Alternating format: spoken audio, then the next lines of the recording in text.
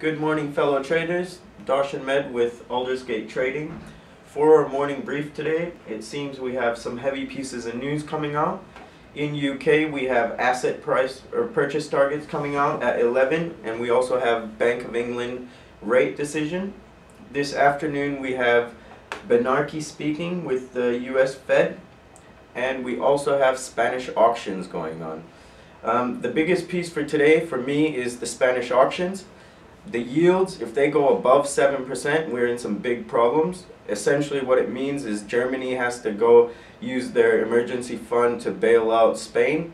They will inject the cash directly to the central bank and the distribution within the banks in Spain isn't that likely because we've seen before that it doesn't happen that easily.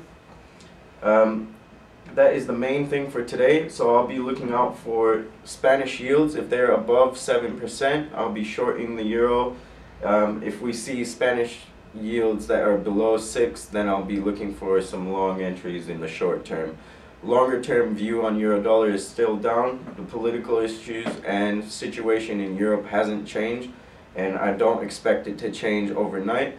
These are big problems that can't be resolved right away. So expect some turbulent times over this summer session. In terms of dollar index, if we get above the 82.80 level, I'll be looking for targets at the previous high at 83.80 or 83.50. Um, that's all for today. If you have any questions, feel free to visit our website at aimllp.co.uk.